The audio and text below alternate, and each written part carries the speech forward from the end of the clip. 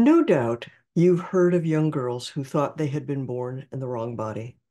Girls who tried to become boys, thinking that that would solve all their problems by becoming their real self. Well, what happens when a girl takes testosterone, has her breasts removed, and then changes her mind? What if she decides she really wants to be a wife and a mom and nurse her babies? Hi, everyone. I'm Dr. Jennifer Roback Morse, founder and president of the Ruth Institute, an international interfaith coalition to defend the family and build a civilization of love. Today, I have a very special guest who lived this whole series of changes and revelations. Daisy Strongin took testosterone for five years and had her breasts removed. Now she's married to a man and the mother of two children, and she has recently converted to the Catholic faith. She agreed to share her journey with Ruth Institute followers because she hopes to give you hope and encouragement for some of the confused young people in your life. I know you're going to be fascinated by this conversation and you're going to want to share this with your family and friends. Daisy Strongin, welcome to the Dr. J Show. So, if we look at the things outside your family. You know, we've got a confused 14 year old with some of the normal, usual things that confused 14 year old girls have, maybe a few little extra things here and there. But outside the family, you've got these funky insurance rules that will pay for this destructive treatment, basically. You've got social media uh, pressuring you. Um, and you've got the media media you know you've got all and of the hoopla doctors. over bruce jenner and all that yeah, yeah and and, the, and, the, and tell us yeah, tell us a little bit more about that part, about how that was for you, just just so people have a sense of that, of how much pressure, you know, how much steerage you guys got uh, in, into the direction of uh, the, of the medical transitions. A lot of them thought that I was a guy, um, and so how am I going to tell them that I'm I was a girl the whole time? Well, I just gradually kind of started buying more feminine clothes and when I first started, you know, I remember the first time I put on a dress, um, and it was a very feminine dress. It was kind of shocking because I had been, you know, seeing a guy in the mirror for the longest time. So it kind of felt like I was in drag and it was very uh just uncomfortable at first. Um, but you know, gradually, um, the dust just kind of settled.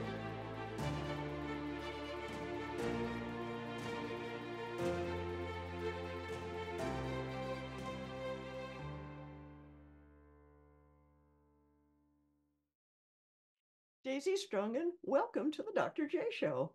Thank you for having me. Well, it's nice to uh, have the opportunity to talk about you. I've seen you in a few films and um, you know kinds of different kinds of content and stuff like that. And so I'm uh, delighted to hear that you're a mom and that you've you know, kind of been able to re- really fully reclaim your feminine identity, and that's a that's a beautiful thing. And I and I know that's going to be inspiring and helpful to a lot of our people. So, um, I, what I'd like to do is just give us kind of the short tour, like a nickel tour, five minute tour of your basic outlines of your story, because you've gone through a lot of transitions. And what I'd like to do is just give people the overview, and then we'll go and unpack you know, kind of each decision point and try to give people an idea of what you were thinking and feeling, uh, because I think that will be helpful to a lot of people. So, so Daisy, what's your basic story?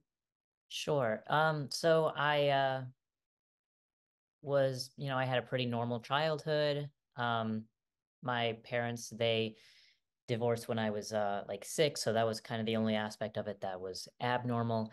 Um, I remember being very, very young and kind of just wanting to um be a boy to put it in a way that you know my childhood self would. I used to you know kind of want to emulate male characters and things like that. Didn't think anything of it at the time. Um didn't problematize it. Um and then i started to think that i maybe was transgender in some way you know either being like you know, this is when I was around 14. I thought, oh, maybe I'm non binary, or, you know, I was just kind of exploring my identity in that way. Um, and then I came out as a trans man or a trans guy in 2015. Uh, it was right at the end of my junior year of high school.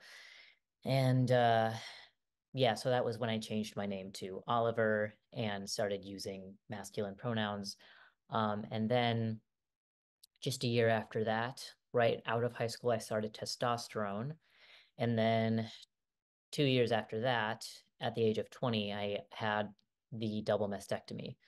Um, and then, yeah, it wasn't until maybe a couple of years after that, around late 2019, early 2020, where I started to feel, hey, maybe I, maybe this was the wrong thing to do. Maybe I regret this. What does that mean? Oh, crap.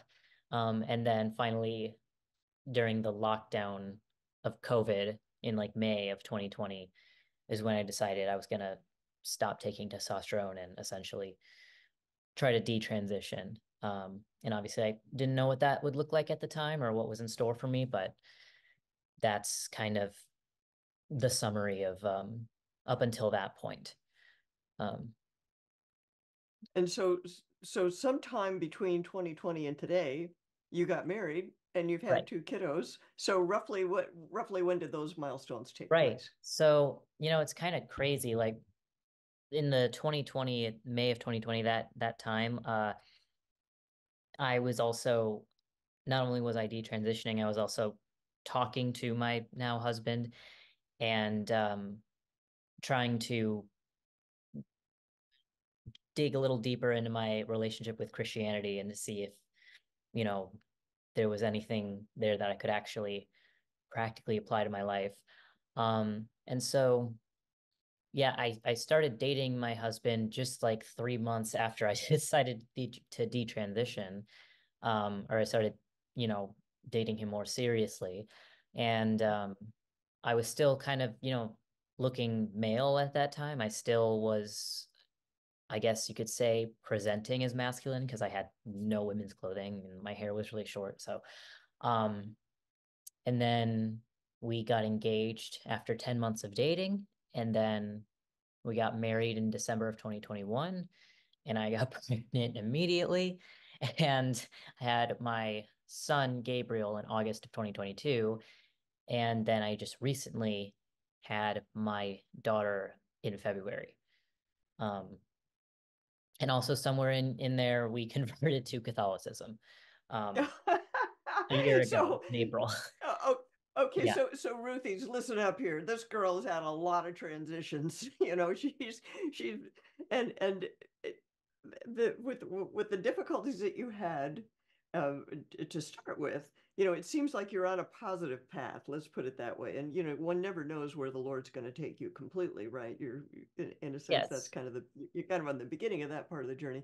But, yeah. But but Daisy, I I think it's important for some of our people to realize that you know that just maybe their loved one may uh, turn around in some way you know that that what seems hopeless at a certain point in time may may not be so yeah um I mean, it's really difficult to talk to loved ones about because there's just so much at stake. You know, a lot of people, yes. I think, are probably in denial. And I'm not saying all transgender all transgender people are necessarily in denial. Well, I don't even know, but um, you know, it can be hard to broach that topic with someone. It's just similar with the issue of um, homosexuality. Like, it's the conversations are tense because basically it implies that you're saying, oh, you can't um, have a, any sort of romantic life. Like you need to be celibate, and it's it just feels like such a big ask of someone. And um, accepting that you made an irreversible mistake um, that puts something like your fertility at risk, it's like that's not you know no one's going to just, you know, have one conversation and be convinced that like, oh yeah, you're right. I cut off my breasts, but like it was a mistake, you know. I lived with the regret. I was in denial for probably about a year before I actually mm-hmm. did anything about it. So mm-hmm. yeah, it it can seem it can seem hopeless because I think um a lot of maybe parents or just, you know, loved ones just don't feel like they can reach them Right, um, right. because they're so just like determined and like it's so important to them to be right about it. Um, or at least that's how I felt. So And and you know, I think a lot of parents and grandparents are afraid of pushing the child further away. you know, that, that there's a kind of sense of walking on eggshells about it because the last thing you want to do is alienate the person. You want to try to keep the lines of communication open and and and that can be a real challenge. So let's go back to your 14 year old self, okay? And and tell us if you can a little bit about what made you. Did you start thinking you were born in the wrong body? Was that a um, um, a concept that appealed to you in some way, or did you think the boys had advantages or something, or what? Just give people whatever you can about your mindset at that time. Sure. It was not so much that I thought boys had certain advantages. It was more so I didn't really know how to um explain why I like felt this pull to just like be perceived as masculine all the time. Um, but I also spent a ton of time on social media, and I've said this in many interviews. I really think it's true. If I had been like banned from social media as a child, I would not have transitioned. I don't, I, I really think that that's true because I remember finding the term genderqueer on Tumblr, and you know, it was probably some other 14 year old just like, you know, making up these like new ways of describing how one feels about their gender, I guess. Um, and it resonated with me. And at first it was just nothing.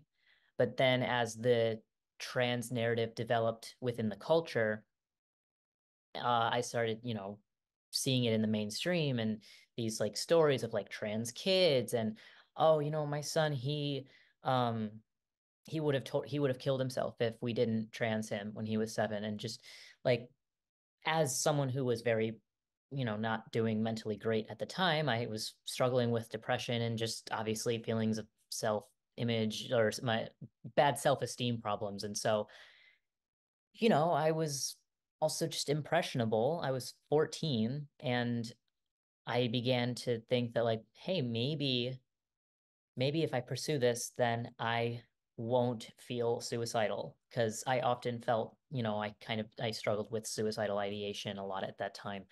Um, and so that's kind of what pushed me toward it is basically the more it became clinical and like medicalized is like, oh, this is something you can fix. This is the Oh, I get you.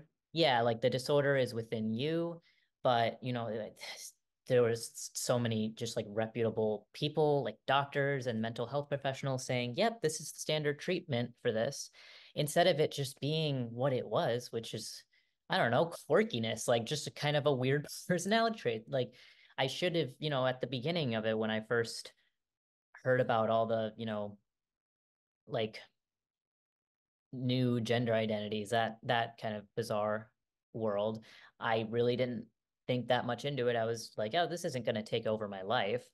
Um, I'm just going to resonate with this privately, if you will. And then it just blew up culturally. hmm So, hmm And so, and so, eh, I mean, a way of this never really uh, clicked in my mind before uh, before you said it just now. But but if if you're a teen and you think I'm depressed and I feel bad, well, everyone knows that you can sort of treat that, but you can't definitively treat it. You know, you can make yourself feel a little better. You can take medication, but nobody's going to tell you, "Oh gosh, we have a 100% cure."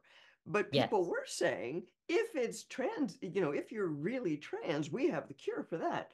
And so Yeah. in your mind, you know, in your 14 year old mind, it's like, oh, bingo, you know, I want to go with the thing that's, I want to go with a sure thing. Is that, Yeah. i- i- am I reading you right here? Yes, absolutely. Like, I mean, this was in 2015, 2016, 2017.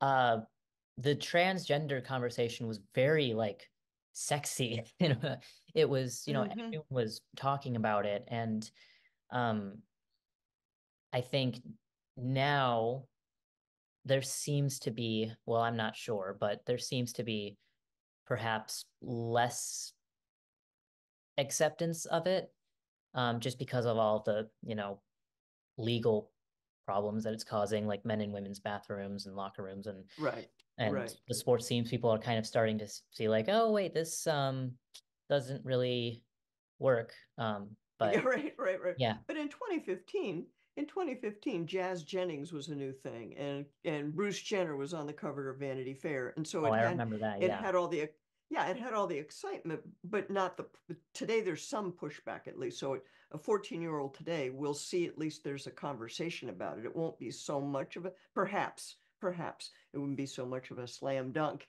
Oh, Yeah. this will certainly work. Whereas the other now now tell me about your parents. How did they react to all of this?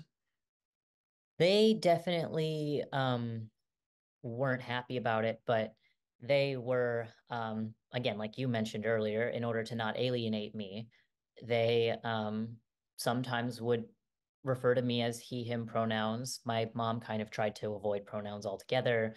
Um, they were kind of walking on eggshells probably around me all the time because I would get especially when I like first start like kind of dove into it and I was really like deluded and brainwashed, frankly. I just I would get so upset when they would like call me Daisy or you know refer me as their daughter or expect me to wear a dress to an event. Um, but yeah, so they, you know, they tried to talk me out of it for sure, especially when Mhm, I started mhm. to take uh like medical steps to transition. Um, but yeah, it was it was a tough moment. It was it was a tense moment uh in terms of my relationship with my parents. So at that point, were you living? Your your parents were. You said your parents were divorced when you were six. Yes. Yeah, no, Did I I was who were you um living with at that point? I lived with my mom. Um Okay. yeah. And and so, but you, were you still involved with your dad, or was there step parents in the picture? Or Yeah, I was still I I was still um involved with my dad, you know, and would see him, but um yeah, it was um sort of tense for both sides because I I could just feel that they were walking on eggshells around me. And that's really hmm another reason why I wanted to just detransition because I was like, I'm tired of this tension. Like, you know, even though at the, at the point that I detransitioned, I was like five years into it. Um, but still, it's like I just kind of want things to, I don't know, not go back to the way they were necessarily, but I was very you know, I felt like I was like lying to myself and that they were lying to me whenever they would call me their son. Because my dad eventually uh just started calling me his son all the time and like was, you know, in my head at the time was doing a good job at like um using my pronouns. But um I remember when he did that, it made me feel kind of like guilty about it. Like I wasn't happy about it. Um, because I was like, Really? yeah, I was because I was like, I know he doesn't actually think this and he never will. So Ah, ah, oh, oh, there was oh, oh, just I there was just still tension. There was still tension, even though he like finally caved and like did what I wanted. But um at that point, you know, I was like 21, 22 years old. I was like, I'm not gonna, I'm like, I don't know. I think it was just an there was just an element of maturing and realizing that like it's better to, you know, have the best relationship with your parents as you can. Um, so yeah, I think I never really thought about that being a reason why I detransitioned, but it definitely was. Um, there were Really? a That's so lot of interesting. yeah, Yeah, that that's so interesting to me. So you were aware, if I could just restate what you're saying, because I've never heard anyone, and, of course I don't know that many trans people, but you know, I've read a lot and I've uh, I've I've talked to a few people and I've, I haven't heard this aspect of it. In your mind, you were uh, at the same time asking that you were asking them, treat me like a boy. You knew they didn't really mean it. You knew yeah, they weren't convinced, and so therefore you there was a it didn't really resolve the tension for them to um, for them to comply with what you were asking for yeah. Because I knew I was tension because I knew I was still a female and they knew that I was uh-huh still female. So I guess just the untruth of it came to a head and like like you know when I first started doing this and like at age 17, 18, I was just more immature and was able to like I guess to disconnect myself from reality in a way that just kind of stopped working um as I like continued to live, I guess. Mm-hmm. Mm-hmm. So, so you thought you thought that you were asking them to do something that you you thought was going to resolve the tension, but it just transferred the tension to a different arena. Yes. And as you grew and mature, it became more and more difficult. So did that make you want to transition so that you would really be a, a boy, or did that make you want to detransition, or kind of both? I'm I'm hearing kind of both. So, Well, this is kind of um, you know, by the time I was in my early 20s, I was thinking about detransitioning. I thought like, yeah, I'm mhm. probably going to at some point. I just just just not now, really. Uh-huh. So, yeah, I kind of was in that limbo stage for a year or so, and that was kind of when I but in the beginning, yeah, like I wanted to go through the medical transition and see how it would make me feel. Because, you know, to give myself a little some grace, um, I made the decision that I thought was best at the time with the resources Mm-hmm. that I had at the time. Mm-hmm. And, you know, uh, so yeah, I try to give myself grace there. Um, Yes, I agree with that. Absolutely. From time to time, I have noticed, right, that most of us at this point are both victims and perpetrators of the sexual revolution in some way, you know, and we're all flying around with really bad information, you know, yeah. and uh, right, and so you can look back on it and go, this was really a mistake but I really was doing the best that I could. But on the other hand, you have to own the mistakes so that you can go forward. But you don't want to beat yourself up about it too, because yeah, you were you were being pummeled with a lot of stuff that could easily lead you astray, you know. Um, and and and also, you know, I'm a lot older than you are, and I did crazy stuff. And when I finally figured out that I was, you know, that I had done all this wrong stuff that I shouldn't have been doing, I had to walk walk, and I was in my 30s by this time, girl. I had to walk myself back to all the way decisions I made back at age 14. You know, that's when I went started going off track. But I didn't do anything as radical as you did, you know. Um, uh, well, in some ways I did. I mean, I had an abortion. That's that's radical enough. I was married and divorced by the time I was 24. That's pretty radical, you know. But but you could recover the the crazy things we were being invited to do were not as final as what the kids are being encouraged to do today, you know. So it's a yeah. Yeah, So I I, I really that. am. I want you to be gentle. I want you to be gentle with yourself and, and Yeah. within the same breath of being truthful with yourself. Yes, absolutely. I I really worry about um just the next generation and just you know what it's going to look like for my kids when they're teenagers. Like, is this maybe going to be over with in a way, or is it just going Right. to advance to something, you know, even more dangerous? It's like, Right. I know. I know. yeah, It's and it's what it's can I do to stop it? I I I don't know. Like, so, Right. Right. but I all I can do is just, you know, try to instill good values in them and just um try to protect them as best as I can without also just like completely insulating them from the world. It's Smothering them completely, right? Yeah. Well, your kids are your kids are at the age where they should be smothered a little bit, so that's Oh, perfectly okay. But definitely. Yeah, no, I'm kind of thinking more into the future as they Sure, of um, course, of just course. get more access to technology and things like and things like that. The social media technology um, is what ultimately led me astray. So, Mm-hmm. Mm-hmm. Yeah, yeah. And I, I want to go back to your parents, if if I may. Looking back on it now, is there something that you wish they had done, even though at the time you wouldn't have thought of it and it would have been hard or whatever? mm, Looking back on it now with the with the benefit of hindsight, is there anything that you wish they had done or not done? yeah, you know, I have kind of a, a pretty specific answer to that actually. Um, Okay. my father and I had a conversation about this uh like last summer and he actually told me that he was considering when I was gonna get top surgery, the double mastectomy in 2018, I was under his insurance. Um, and he was he told me that he was considering quitting his job so that he would lose his insurance so that I would not Wow. surgery. Um, and I really like, I don't know, I, I really would have hated for him to do that, but it probably would have stopped me because, you Mhm. know, without insurance, that's, you know, I wouldn't have been able to afford it at 20. Um, but other than that, you know, I think they they did they did the same. They did their best with the information they had and what they knew and um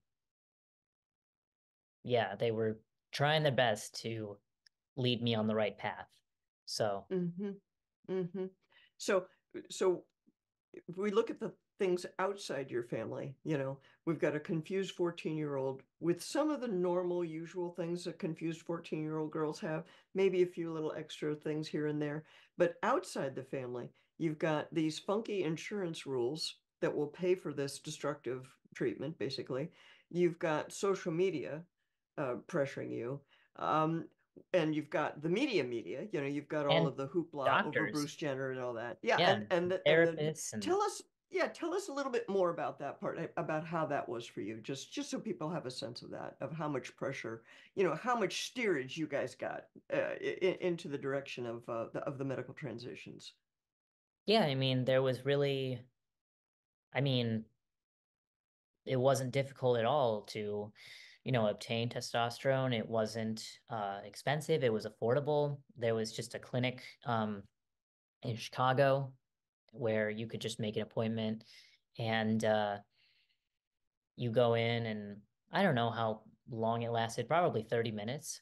Um, my first appointment there and it, I think they asked me a couple of questions like, so do you have dysphoria? Yes, because I believed that I did, right? That's why I was there.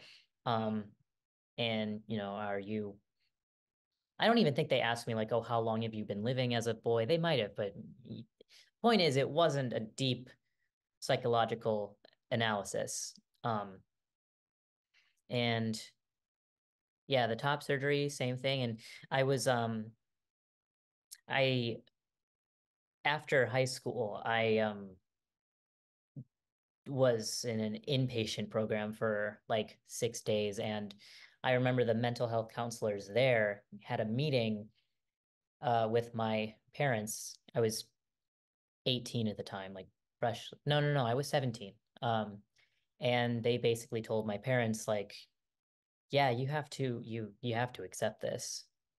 Like they basically were like, it's really beneficial it's going to be really beneficial for her men his mental health if you you know use the correct pronouns and uh yeah basically just everyone was like gaslighting my parents and also Yes. me in a way hmm um You said this was an inpatient program. What what was it an inpatient program for? Um For gender dysphoria? For gen or or something else? Was no it was something else for i was um i was feeling suicidal it was like at the very I end of high school and i had this big falling out with my friends and it was very painful and i basically was like yeah i should probably have my mom take me to the hospital and so i ended up staying there for like six days yeah yeah i was troubled Wow. but Yeah. Yeah. yeah Oh, well, I'm I'm really sorry about all of that. Tell me, um, l- let's let's jump ahead a few months, a few years perhaps.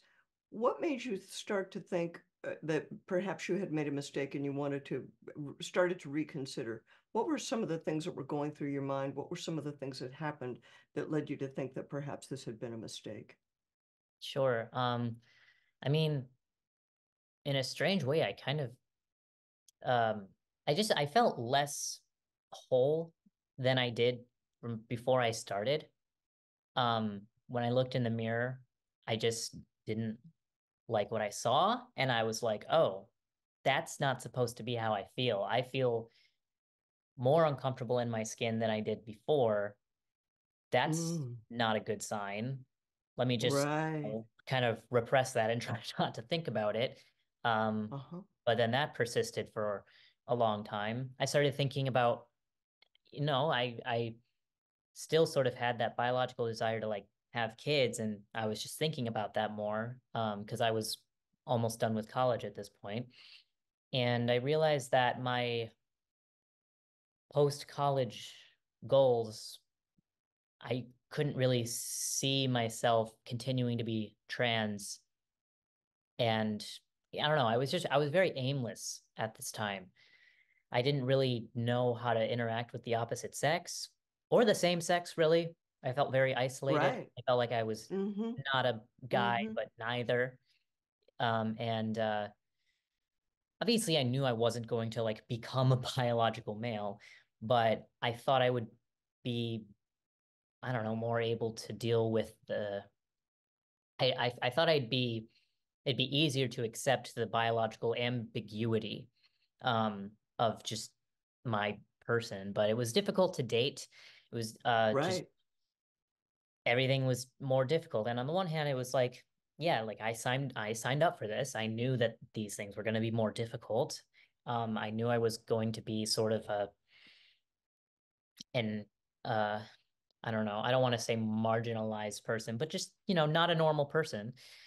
And yeah, having kids, that was a big one because I wanted to have my own children. I really wanted to have that experience and I didn't want to further jeopardize my fertility with the testosterone. Um, because if you're on it for long enough, um, your reproductive system can just can atrophy and you, Yes. you know, will eventually need a hysterectomy. Um, so thank God I stopped when I did because I was on the testosterone for quite a while. But um, yeah, I think it was also just the isolation for, of quarantine and just um, that kind of reset me in a way. And I kind of realized, like, okay, something needs to change because, and because if I keep doing what I'm doing, just kind of generally, um, my life's not going to be good. And I know that something has to change. And it was pretty obvious what exactly needed to change. So, Mm-hmm. Mm-hmm. I see. So what I'd like to do now, I want to start talking to you about uh, the the process of reclaiming your feminine identity, uh, which surely involves your husband in some way. And so what I'd like to do, people, is take our break here. We'll go over to locals and pick up on the second uh, the second half over there with this, I think, very interesting conversation that you're not. I don't. I don't. I'm not aware of any other detransitioner that has had this whole path. And so I think people are going to be very interested in in what was involved in you reclaiming your feminine identity to the point of becoming a mom. So Ruthie's join us in a few minutes right over there at Locals, and we'll and we'll see you there.